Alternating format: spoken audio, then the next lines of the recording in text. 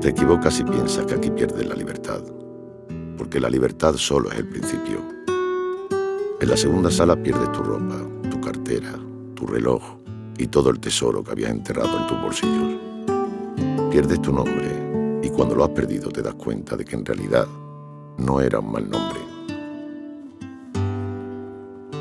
Pierdes la intimidad, pierdes la noción del tiempo, pierdes los días, pierdes los inviernos, los cumpleaños, los aniversarios, los bautizos y los entierros.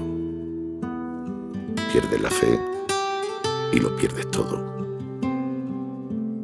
Y cuando lo único que te queda es la piel, sonríes orgulloso y piensas,